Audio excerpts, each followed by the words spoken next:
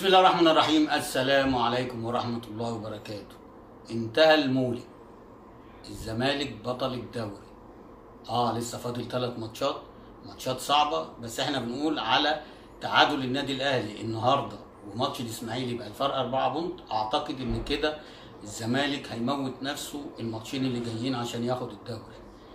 وأعتقد النهارده بفوز نادي الزمالك كده بنسبة 75% حسم البطولة. بس ده مش شرط لأن في ثلاث ماتشات. خسارة تكهرب الدنيا تاني. تعادل يكهرب الدنيا تاني. إنما لعيبة الأهلي أنا عارف عملوا النهارده كل حاجة بس كان في اخطبوط اسمه محمد بسام. إحنا بنتكلم عن ماتشين خلي بالكم. يعني إحنا بنتكلم لأن كنا بنحاول كده شوية وكده شوية لأن ما عندناش الإمكانيات إن إحنا نتفرج على شاشتين يعني. كل ما نحاول نلاقي محمد بسام بيطلع يا من ال- على الأرض انفراد يا إما كرة صعبة يا إما كرة بالدماغ يا إما يعني كل ما نحاول نلاقي النادي الأهلي في ال 18 ولكن النهارده أقدر أقول ل ل ل بنسبة يعني 75% إن الزمالك بطل الدوري.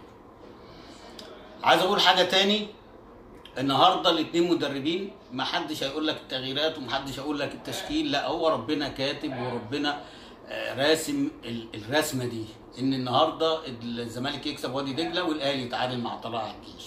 النهارده عبد الحميد بسوني بيعمل مباراة ولا أروع وعلى فكرة مضيع كتير يعني بتاعت أحمد سمير وبتاعت آه، ناصر منسي طبعا الأهلي الأهلي يعني مضيع فرص بالجملة مع قلناه بس بنقول لك كان ممكن يخسر كمان الكور اللي هي الهجمات المرتده كان لها دور كبير قوي على. على الناحية الثانية الزمالك طبعا بيلعب وادي دجلة. وادي دجلة فرقة بتنافس على الهبوط وعايزة تكسب عشان تقرب شوية عشان لسه يبقى لها أمل والكلام ده. أعتقد النهارده بعد الخسارة يبقى كده واضح تماما إن وادي دجلة والإنتاج الحربي لغاية دلوقتي هم اللي يعتبر في القاع. وبرضه لسه الثلاث ماتشات اللي جايين أما نشوف الدنيا هيحصل فيها إيه. على العموم إحنا مباراة سواء طلائع الجيش أو وادي دجلة إحنا كنا بنقول اللي هيحسم اللقاء ال- الجمعة اللي جاي اللي هو مباراه س- سيراميكا و- والنادي المصري النهارده حسم نص المشوار لنادي الزمالك أو ثلاث ارباع المشوار. فلسه برضو الكرة فيها كل حاجة الكرة ممكن آه، لا قدر الله آه، لعيبة الزمالك تتهاون تخسر الماتش اللي جاي ترجع ريما لعادتها القديمة. آه، النادي الأهلي يبقى فيه استفاقة يبقى فيه آه، آه، رجوع تاني. بس أعتقد إن بعد النهاردة إن سواء النادي الأهلي هيخش مباراه المصري بمعنوياته في الأرض بعد التعادل وأكيد نادي الزمالك بعد تعادل النادي الأهلي وفوزه على وادي دجلة هيخش معنوياته في السماء عايزين نقول بقى للناس اللي هي بتقول لك بيفوت وده بيفوت وده بيفوت. إحنا ما اتكلمناش الأسبوع اللي فات عشان ما نقولش ونقول للناس ان إحنا آه، الفتنة ومش الفتنة. والله ما حد بيعمل فتنة غير قنوات معينة وإعلاميين معينين هم اللي خلوا الدوري يولع كده وخلوا الفتنة تزيد الفترة الأخيرة. إنما هو ربنا رايد لنادي الزمالك بكل حال من الأحوال إن ياخد دوري السنة دي. عشان في كان ظلم كتير قوي وفي حاجات كتيرة قوي. المهم يعني فده مش آه، يعني دوري هيبقى غالي جدا لنادي الزمالك بعد الحروب اللي حصلت له طول الموسم من أول الموسم لغاية دلوقتي. فلما ياخد دوري زي ده بغض النظر بقى عن النادي الأهلي اللي مستقر واخد بطولة أفريقيا مرتين واخد كأس مصر السنة اللي فاتت واخد السوبر السنة دي واخد آه، الدوري السنة اللي فاتت أعتقد أنت مالكوش حجه اللي عايز يلوم ما يلومش إلا نفسه. أنتوا عمالين تقولوا الزمالك فوت آه، الاسماعيلي فوت للزمالك طب ما انبي فوت للأهلي. لو أنتوا عايزين تقولوا الكلام ده. إحنا عايزين بس نقول للناس ان إحنا ده ماتش وده ماتش. ده بثلاثة point وده ثلاثة point. ما تلومش إلا لعيبة الزمالك ما تلومش إلا لعيبة الأهلي ما تلومش إلا جهاز الزمالك الفني ما تلومش إلا جهاز النادي الأهلي.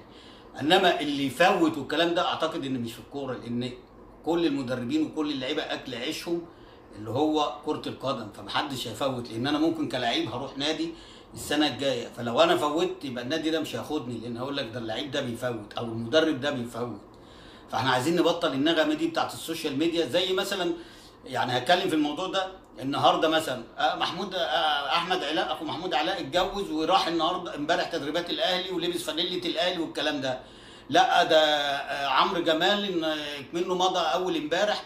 في النادي الأهلي وجدد تاني للنادي الأهلي لا هيسيب الماتش. والكلام ده. يجي على الناحية الثانية لا أصل عبد المنصف اللي هو حارس مش عارف إيه شيكابالا كلم ما تبطلوا بقى يا جدعان هري. ما تبطلوا رخامة بقى وبطلوا هو كل واحد مش من هنا راح هنا هيسيب.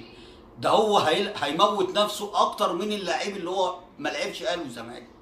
أنا بقول لكم عن حاجة يعني الواحد عارفها وحاسسها.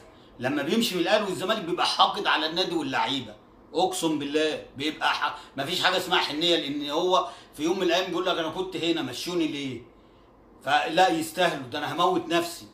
زي النهارده عمرو جمال مثلا زي النهارده عبد المنصف ده عبد المنصف النهارده مطلع كورتين يعني لو دخلوا جوه ما حدش هيقول له بيم. والجون اللي دخل فيه يعني لو في ثلاث حراس واقفين هيخش فيهم برضه لو الثلاثه واقفين. عايزين نبطل النغمة دي عشان إحنا مش عايزين البلد تولع إحنا عايزين استقرار. خلاص الزمالك خد الدوري ألف مبروك الأهلي خد الدوري ألف مبروك. خلاص مفيش مشكلة. إنما إحنا مش عايزين نسيب رواسب وإن الفتنة تبقى لشعب مصر جمهور الأهلي وجمهور الزمالك. لا إحنا عايزين نبطل القصص دي. اللي يكسب مبروك اللي يخسر hard luck وما يلومش إلا نفسه. ده آخر كلام بقوله. ومبروك لنادي الزمالك وجماهيره و hard luck لجماهير النادي الأهلي. ولازم بقى يا كابتن محمود يا خطيب لازم.